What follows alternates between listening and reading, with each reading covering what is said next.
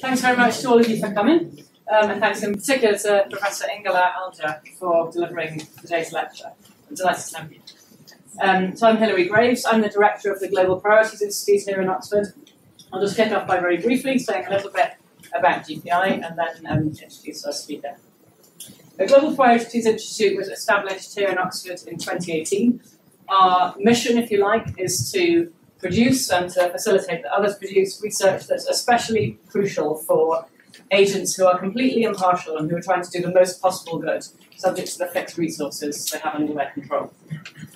Um, so our question is, if, you, if you've got some pot of, let's say, money, or it could be time, and you want to deploy it in such ways to do the most possible good, in a sense that's completely impartial between everything that is appropriate to be impartial between, so time, species, people, geographical regions, um, you name it, um, then what's the best way of doing that? So this project is, of course, in principle, um, an extremely big question, but the reason GPI exists is that we think, despite the scale of that question, the number of issues it raises, there are ways you can make real progress on it by carefully deploying the tools of various academic disciplines. And here at GPI, we focus in particular, for the moment at least, on economics and philosophy, the two disciplines in which we have teams.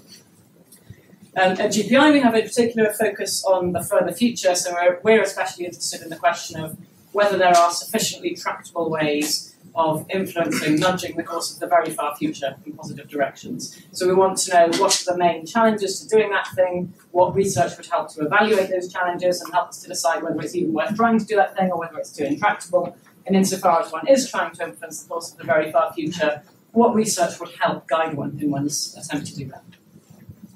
So this leads, among other things, to the purpose of the lecture series that brings us here today. The series is named in honour of Professor Sir Tony Atkinson, who, as most people here I imagine will know, was a towering figure both here in Oxford and internationally. Atkinson's work focused in particular um, on the notion of inequality and also more generally um, on issues to do with increasing welfare. So we're very honoured to be able to host this distinguished lecture series in his name, and we're very happy to be back here in person for the first time since 2019 for the lecture. On a quick logistical note, this lecture is going to run for one hour, and there'll be 25 minutes of Q&A at the end. Please confine any questions during the talk um, to sort of essential clarifications and reserve substantive things for the end. Please be aware that the talk will be recorded for posting online. So, among other things, if you do raise a question during the lecture itself, that will be part of the online recording. Um, okay, so without further ado, then, let me introduce today's speaker. Oh, sorry, so for the people who are online, um, there is a link that you can use to raise your questions at the end, if, or alternatively, you can use the raise hand function. Um, you can also use the raise hand function to indicate that you'd like to ask a clarification during the talk. Did I get that right? Sorry, no. So on, Russell online, will you tell you what to do. online you have to submit questions using a link, and if you're in the audience here, you can use that link as well if you prefer to type a question, and then I will read out the question at the end. And if you just want to ask a question in a regular way, just put your hand up if you're in the room. Thanks. Sorry. Thank you. okay, so without further ado then, um, Ingela Alger is a CNRS, Senior Researcher in Economics at Toulouse School of Economics. She's a CEPR Research Fellow. She's also the Director of the Institute for Advanced Study in Toulouse, that's the IAST. Um, and this year she received the CNRS Silver Medal, which is awarded to a small number of distinguished scientific researchers in France. Her research focuses on the long run formation of human preferences, in particular when these are transmitted gener- from generation to generation and are subject to selection. She's particularly interested in preferences that might explain moral and altruistic behaviours, as well as behaviours within the family, and topics that she will touch on in her talk today. So Ingela is going to be presenting on the evolutionary foundations of morality and altruism, recent advances. I'll hand you over to us. Thank you.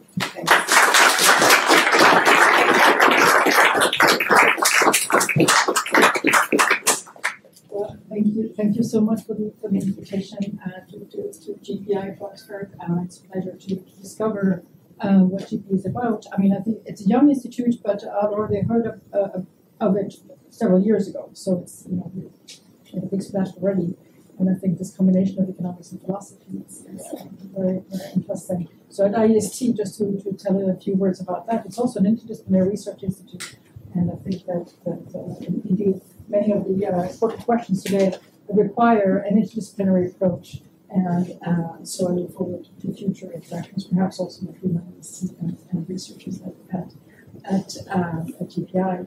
especially because we do not, do not have a lot of philosophers coming our way. So there is, I think, gains from trade perhaps in terms of things. Um, so, oops. Or we just need to click away. Yes, so Tony Atkinson, uh, this is, I think, the closest I, I got to him. Uh, actually, was that um, uh, I was giving a talk at the World Bank, and a day before that, Tony Atkinson was talking, um, tackling the challenges of the 21st century, uh, remotely, however, and uh, and then uh, suddenly passed away, I think, a year, a year later. So, of course, yes, so I'm extremely honored and, and um, yes. Sorry, you speak a little bit louder. Yes, I'll try. Okay. So it's very humbling to, to be speaking uh, uh, in honor of, of his memory. So, um, into the talk. So, what uh, economists are essentially in the business of formulating uh, policy recommendations, right? So, and what is the goal of these policy recommendations? The goal is simply to try a way to, to, to, maximize human welfare or given, uh, given some constraints, given the uh, available resources. Now, of course, if you ask a man in the street about, you know, how should we proceed if we want to achieve this goal, it's an extremely daunting task, right? Where do you even begin thinking about this, answering this question? And uh, so, fortunately, in economics, we have a very powerful set of uh, uh, results and a powerful um, paradigm to stand on to, to try to answer, to bring answer to this question. As we know, uh, in the 1950s, from the 1950s, we have the first welfare theorem, which uh, states uh, sufficient conditions for a decentralized markets to bring about a, an equilibrium outcome that is uh, efficient, right? So if markets are complete, if there is perfect information, perfect competition, and if information is complete, then any market equilibrium is pretty efficient. Right. And so standing on this benchmark, then uh, for the next few decades, economists got very busy trying to uh, understand how or which kind of inefficiencies would arise if these assumptions were not uh, satisfied, right? So in these decades, we saw um, many, many, many policy recommendations. Uh, so recommendations uh, on policies that seek to mitigate inefficiencies that stem from uh, incomplete markets, market power, and or information asymmetries and. Fine. However, if we uh, so one remarkable uh, feature of the first fundamental welfare theorem is, of course, that uh, individuals need not want to achieve the greater good. It is achieved even if uh, individuals are perfectly materially self interested.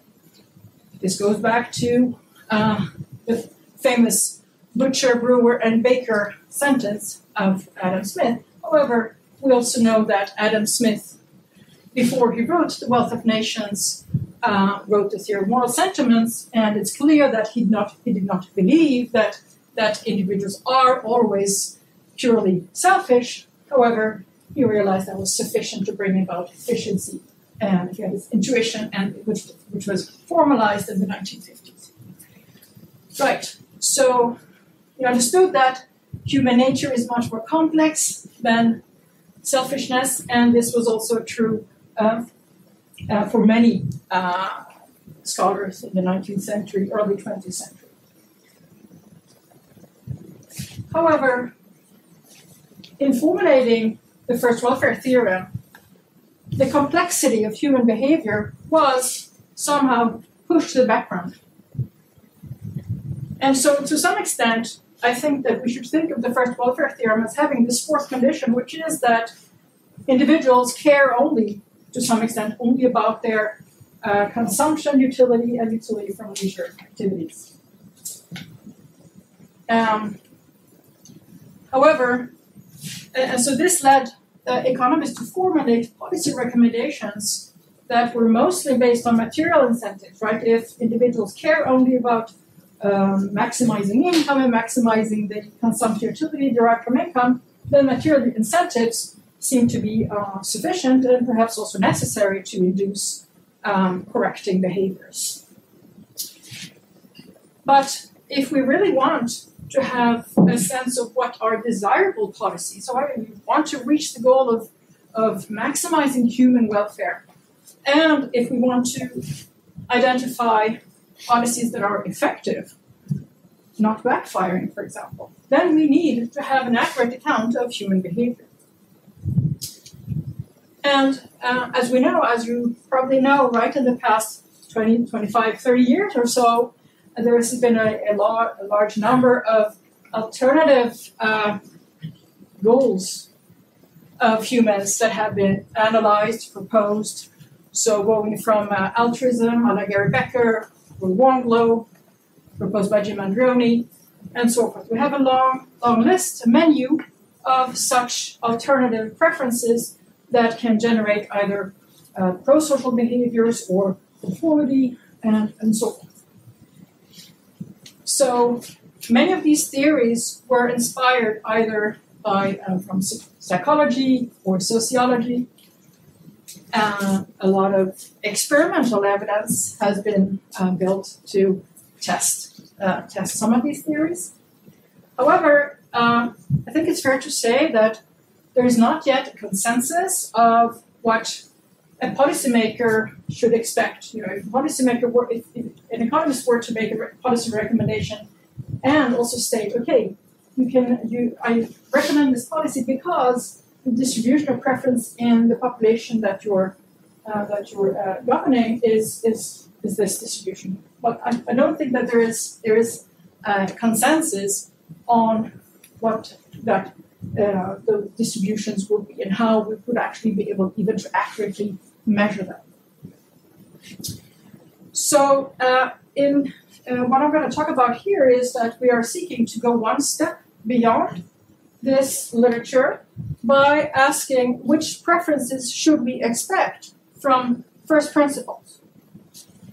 And so, ideally, what we want is that such a theory should shed light on which preferences are more plausible than others. So, we can try to sort of narrow the set of hypotheses that we think are, are plausible. And uh, ideally, we should also be able to understand, uh, it should help us understand why we should expect this or that preference. So the mechanisms um, behind this. Okay, so uh, long-termism at GPI we heard about.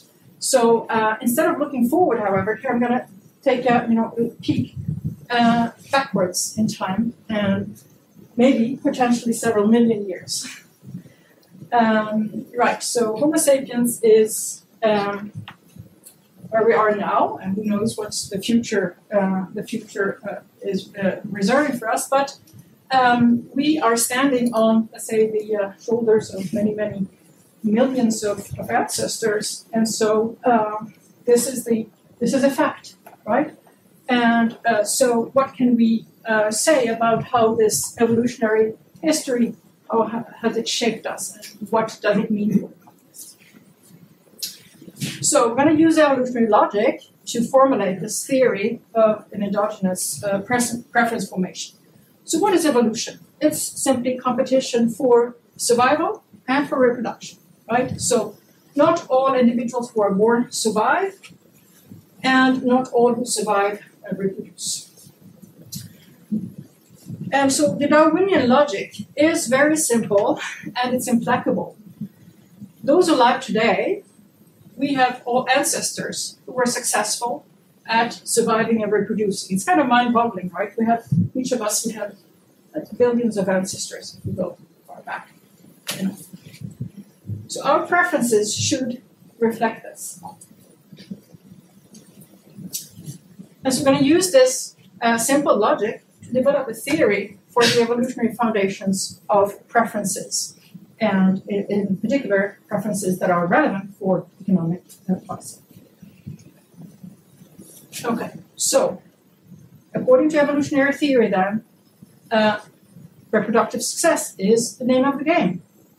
Okay, so well then, shouldn't the, shouldn't it simply be this, the, the, the fact that uh, humans should be expected to be equipped with traits that make them maximize own reproductive success?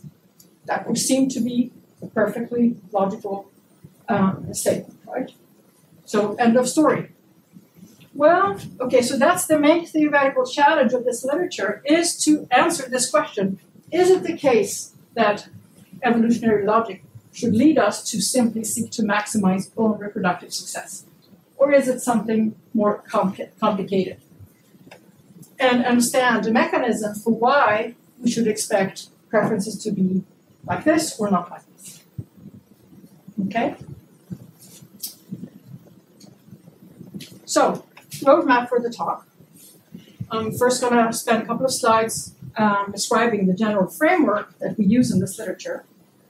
And then I want to talk about two uh, insights and the implications of these. If I have time, also a third insight, and then conclude. All right, so the framework is based on simple uh, evolutionary logic that we, we take the analysis of the level of the population. There is a process of mutation and selection going on in this population. So think of there being a sequence of generations. In each generation, there is a certain distribution of preferences. There may also be sometimes novel or mutant preferences that enter into the population. Then individuals are somehow matched to interact with each other each individual's preferences guides his or her behavior according to standard economic theory. The uh, equilibrium or the uh, uh, behaviors result in equilibrium material payoffs, and these material payoffs in turn will determine the reproductive success.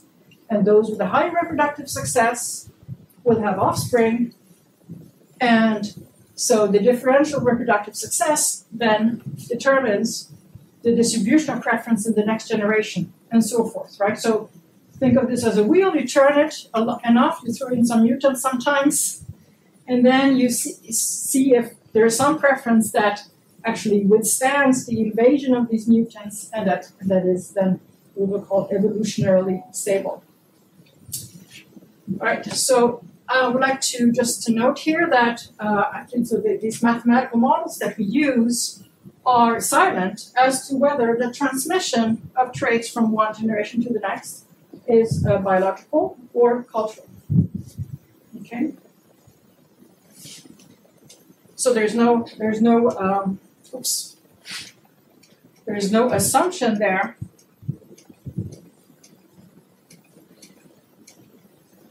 There's no assumption there that these traits need to be uh, biologically uh, coded. Could be, not necessarily. Yeah.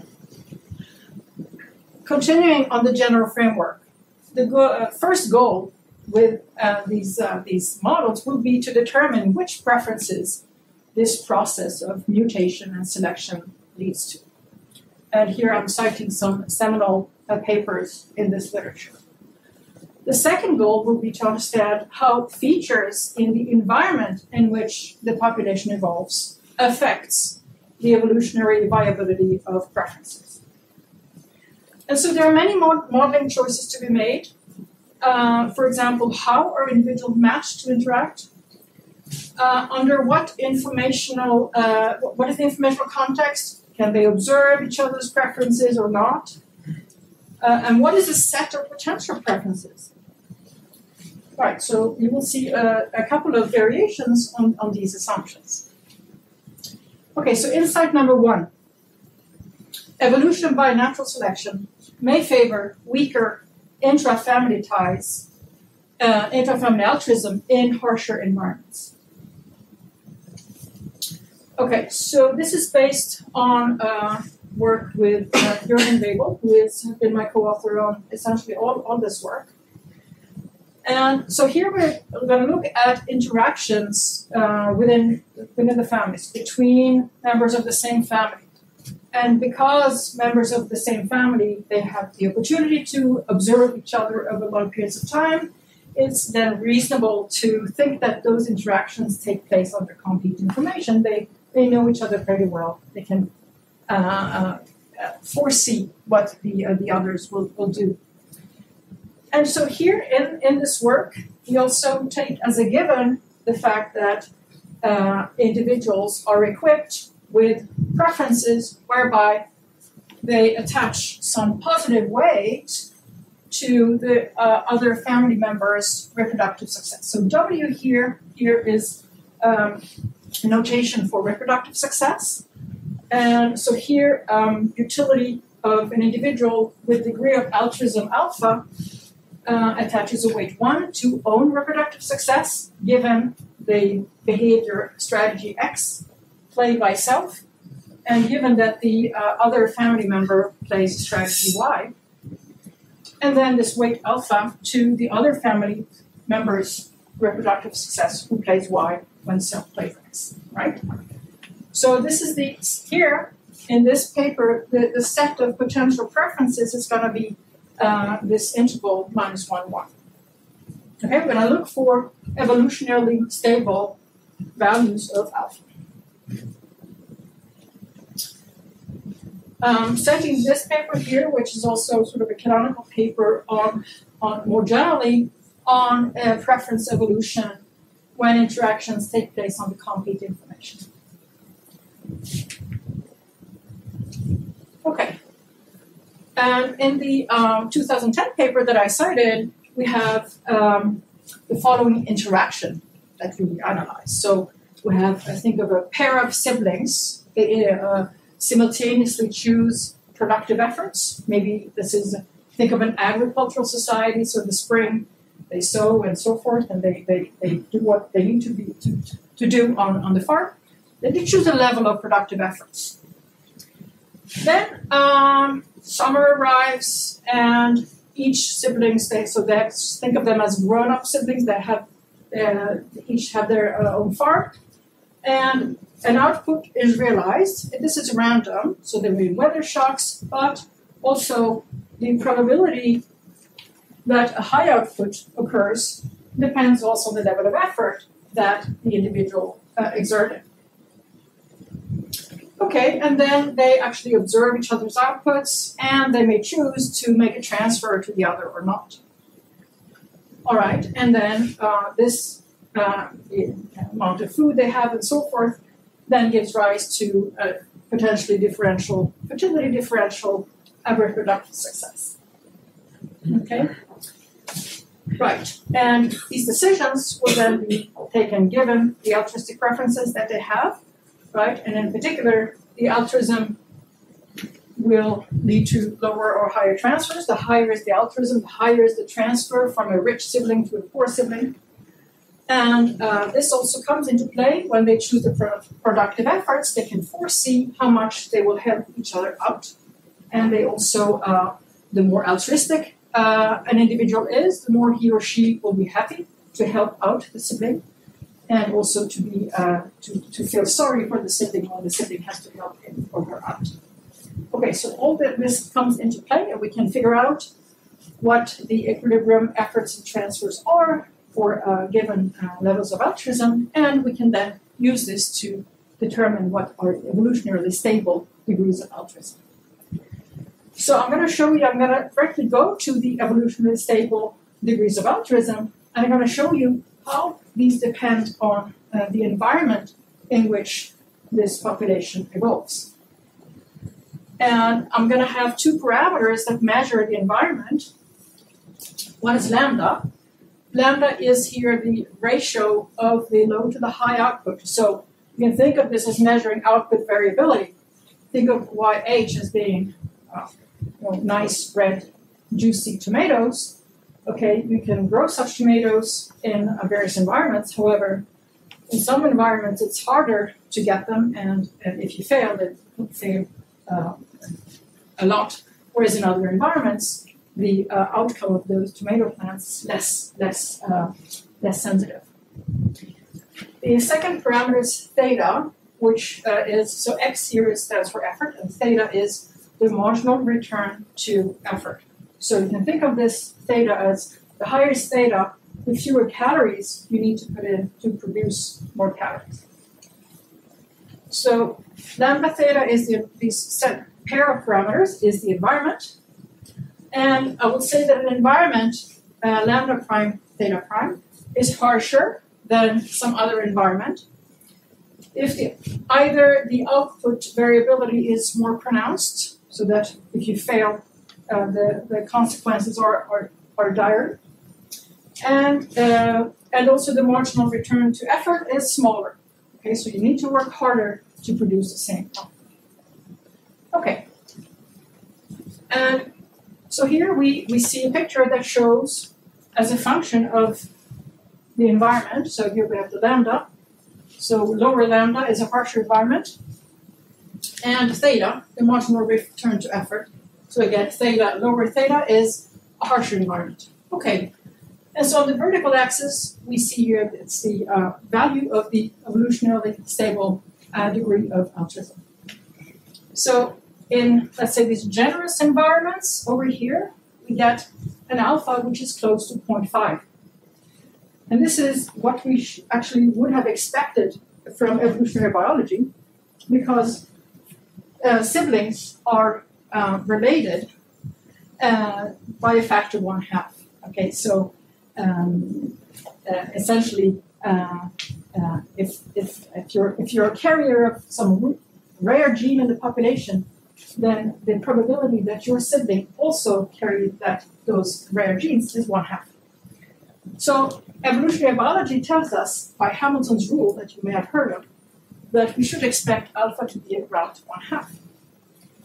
However, now that we have this effect of altruism on production levels as well, we actually get this other effect, which takes the degree of altruism uh, down way below 0.5 in certain environments. So here, in this very harsh environment, it's only about 0.2. Okay, so uh, there's a stark, stark difference there. So what this says, right, is that we may expect family, uh, intra-family altruism to, to vary with the environment. And in, in this uh, model, it is uh, the, the um, intra-family altruism is lower in harsher environments. So uh, you may have heard of Sweden Gate. Have you heard of Sweden Gate? No? So it's recently this whole thing on social media that Swedes are not generous towards strangers. They don't invite them to, uh, to eat. However, I say that you shouldn't worry if you're a stranger because in Sweden, we would not necessarily even invite the brother to the tea. So, no worries. Don't treat you differently. Okay. Right. So, in sum, what do we get from this analysis? For pre industrial times, in agricultural societies, our model predicts weaker altruism in harsher climates. So, one could say that this is actually in line with the notion that uh, individualism uh, rose in northwestern Europe um, prior to uh, elsewhere. And this is also what Max Weber, uh, what is in line also with the statement by Max Weber that you can find in the Religion of China. He says, so you all know about Max Weber's Protestant ethic, work ethic. However, here's another statement. The great achievement of Protestantism was to shatter the fetters of the sib. These religions established a common ethical way of life in opposition to the communal blood, even to a large extent in opposition to the family. So I'd say this prediction is kind of in line with, with the idea that in parts of the world where Protestant, Protestantism was readily adopted, that is, Northwestern Europe, uh, we had uh, um, this weaker, weaker family. So more generally, what this model says is that it predicts that the strength of family ties uh, depends on the environment. And uh, I suppose that maybe this is a bit provocative, but uh, I'd like to, to raise a question that, uh, well, what does this say about the relevance of the economics model of individual utility maximization? How relevant is that for parts of the world where we may expect family ties, intra-family to, to be extremely strong. And I think it also raises the questions for economic uh, for uh, for economic development. It's a chicken and egg question. Sometimes we hear that in developing countries, uh, informal risk sharing uh, is there because there are no formal markets, no formal insurance markets. However, you could also uh, think that uh, it could have been, you know, the, the, lack of formal insurance markets may be due to uh, extensive intra-family resource sharing that that actually lowers the demand for um, for formal insurance. Okay. On now to uh, insight number two. So, evolution by natural selection favors a concern for universalization or a form of Kantian morality. So here I'm going to turn to interactions between strangers. And so uh, for interactions beyond the family, it's um, it's question, questionable to assume that we have uh, that we observe each other's preferences. So here we're going to take uh, adopt a model in which interactions take place under incomplete information. So each individual knows his or her preferences, but not those of the, uh, the those with whom uh, they interact. And you remember this question, right? We need to always um, figure out what is a set of potential preferences. So in this work, we are going to uh, take um, a minimalistic approach by saying that, well, a utility function could be any function over the where the domain of the function is the set of strategy profiles. That is, preferences only need to uh, describe the preferences so over the strategies played by self and the other. For technical reasons, it we restrict attention to continuous utility functions. But the approach is it could be anything essentially. And so this is based on a work, uh, again, with Jörgen. And here I'm mentioning these papers that also uh, have uh, quite general models of this kind of interaction. However, the way uh, it differs is that we allow for um, another kind of matching process between interacting individuals. And this is what leads to uh, this Kantian, uh, Kantian morality that uh, they could not uh, see in their model. So uh, before I state the result, um, let me define what homo moralis is. So an individual is a homo moralis with a degree of morality, kappa, which is a number between 0 and 1, if her utility function is of this form. So here you recognize again the first term is the uh, individual's own reproductive success when playing strategy X, when the other plays Y. Now, here this is different from altruism. Here we no longer have the actual reproductive success of the other. Instead, it is the reproductive success that the individual herself would obtain if her strategy X was universalized, so that the other also would play this hypothetically.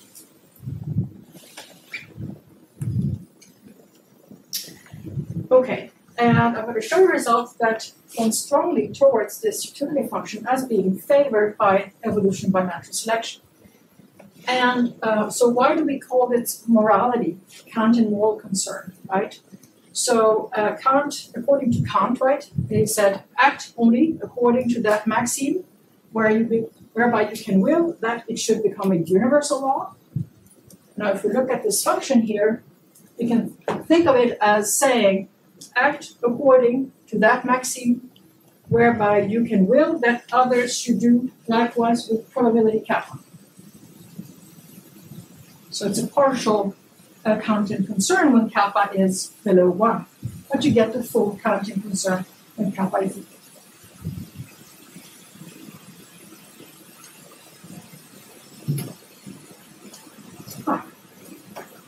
Computer is doing some noise. Just second. now it works. Okay. And so here is the, um, the, the result. The first part says that this kind of preferences for homo moralis with a specific degree of morality, kappa equal to a number r, which I will tell you more about in a second, is evolutionarily stable against any preference type that is behaviorally distinguishable from such homo. And we have almost an if statement. The second part is any type which is behaviorally distinguishable from homo with this particular value of kappa is evolutionarily unstable, that is, would be displaced by some mutant utility function that comes into the population. Okay, what is R? So R is the coefficient of relatedness, um, which is a term that goes back to biologist Wright, 1931. The coefficient of relatedness is essentially the probability that the interactants have a common ancestor not too far back in time. And so this can be calculated, but here we just take um, sort of a reduced form approach and, uh, and uh, look at this as the mutants are extremely rare. So some intuition for why this result obtains. The Homo moralis uh, preempt entry by mutants. And how is that so?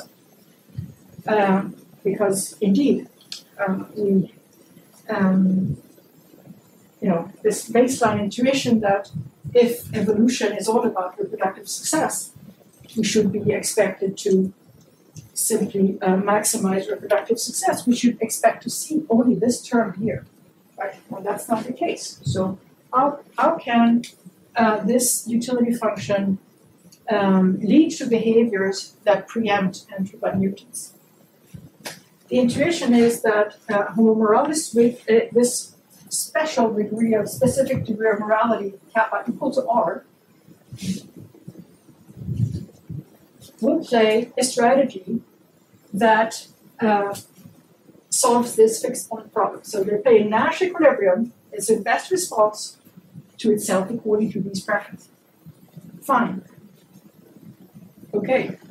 Now take a, a rare mutant coming into this population with some other preferences and that are behaviorally distinguishable from Homo moralis. Such a mutant would play some strategy, that's what it's Z. And remember that this R here is the probability that a rare mutant is uh, going to interact with another rare mutant. So here we have the term that corresponds to uh, when this happens. So a rare mutant playing Z with probability R is matched with another mutant also playing Z. However, with probability 1 minus R, the rare mutant is matched with uh, the Homo moralis, who is playing this strategy, uh, this strategy here. And so we see here that the rare mutant gets on average this reproductive success, but the Homo moralis is already playing that strategy that maximizes the, uh, uh, the reproductive success of a rare mutant. So leads us to this, this very strong result. Okay, so where does this positive coefficient of relatedness R come from? It comes from, uh, so as I said, so it's the tendency for individuals sharing a common ancestor to interact. And this happens uh, in populations where, uh, let's say, you're structured into groups, or at least there is some limited migration between groups. So you're born in a place, and uh, then you will, uh, among your neighbors, you will find people who were also born in the same place, or whose ancestor immigrated, or uh, or um, yes, sorry. And so this corresponds exactly to uh, the our uh, evolutionary past, right? So there is evidence that for let's say the last couple of million years or so, uh, our ancestors lived in small groups of between 5 to 150 grown ups. They extended beyond the nuclear family, and that uh, clearly there was a limited migration between, uh, between these groups. There was some migration, but not fully. The, the population was not fully remixing uh, in each uh, time period. So, this kind of uh, population structure is part of the environment of evolutionary adaptiveness uh, of uh, the human lineage. So I think it's fair to safe to say that uh, this R is not equal to zero, was not equal to zero uh, for most of our our um, uh, past. So we should expect, according to this theory, that behavior should be in line with this with this uh, homo moralis, with a certain morality R. Now, what are uh, some implications of, of these preferences? So I'm going to show you a couple of simple interactions and just to highlight some key differences between altruism on the one hand and these homo moralis preferences on the other hand. So here I have the prisoner's dilemma. And uh, if we start by Homo economicus, we know that um, defect is the unique Nash equilibrium. If we take now altruists, then an altruist can take into account the negative impact or positive impact on the other. And so, for a degree of altruism high enough, then uh, the unique equilibrium will be uh, cooperate cooperate. The same is true for uh, individuals who are homo moralis. If their degree of morality is high enough, then the unique equilibrium is also uh, cooperate cooperate. So here, there's not a no distinction. I mean, both altruism and morality give rise to pro-social uh, behavior. Right, now let's look at coordination game, right? So coordination games are everywhere in life. And um, so here the G and B here stands for the good and the bad equilibrium, right? So Homo economicus, for Homo economicus, both GG and BB are Nash equilibrium. Let's look at altruists. Well, the same is true for altruists. Both GG and BB are equilibrium, right? If I'm very altruistic and I expect the opponent to pay B, then I will also pay B.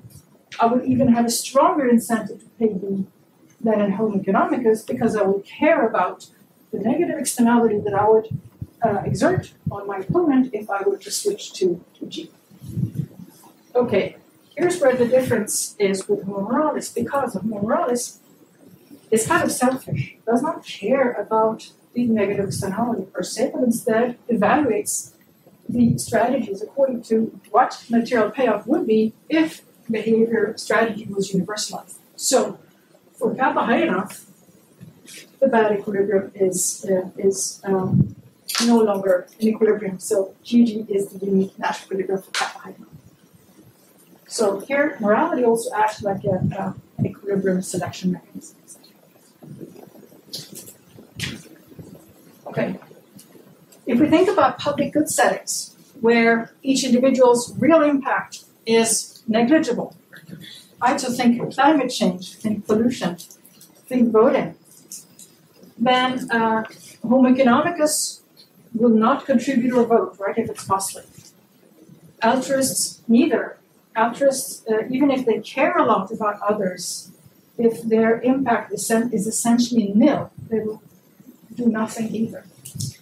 Homo moralis would be very different because uh, because uh, Homo moralis evaluates what the what the outcome would be if the behavior was universalized. So Homo moralis acts as if he or she had weight in the population in the outcome, uh, although this is not the case, right? So he or she would be perfectly conscious about the fact that there is no real impact, but would nevertheless act as if there was a real impact.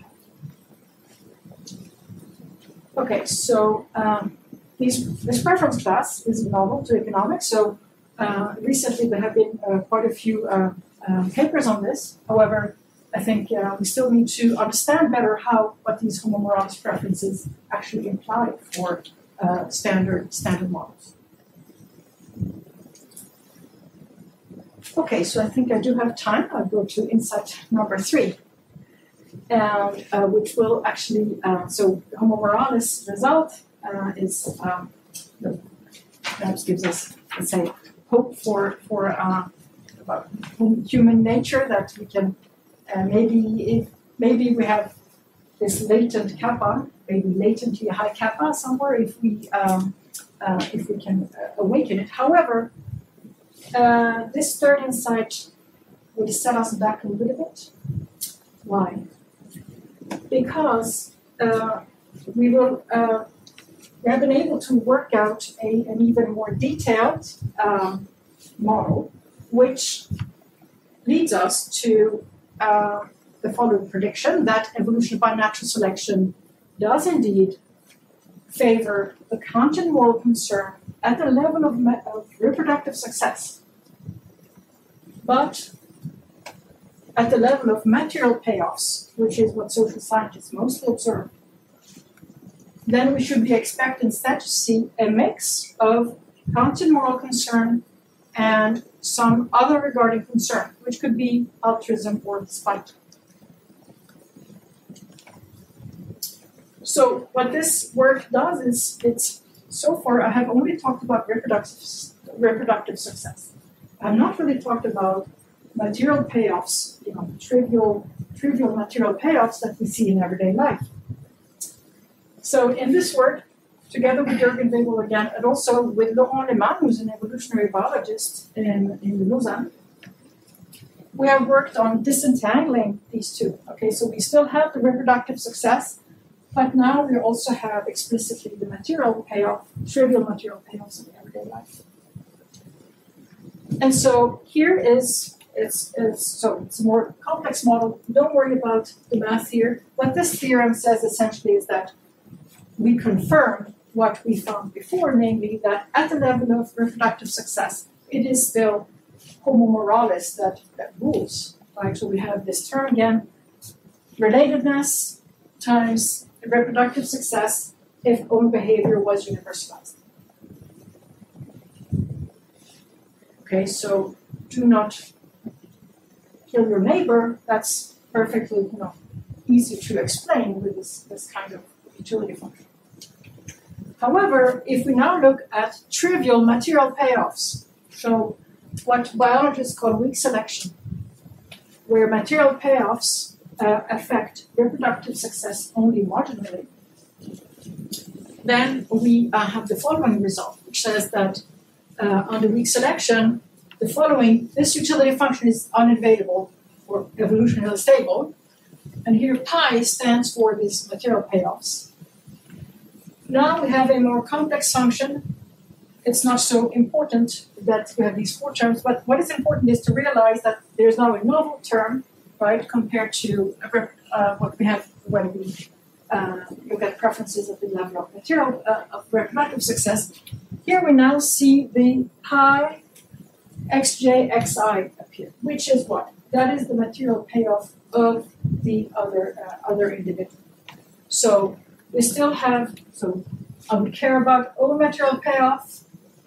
I care about what my material payoff would be if my behavior was universalized, but I would now also care about the opponent's actual material payoff.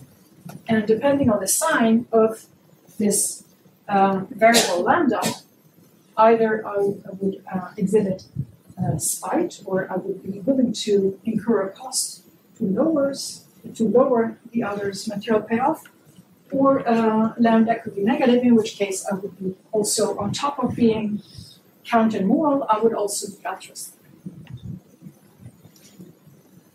And this comes from um, local competition, or rather the, uh, the, the, the gains in reproductive success that can be obtained by lowering or increasing the material payoffs of my neighbors.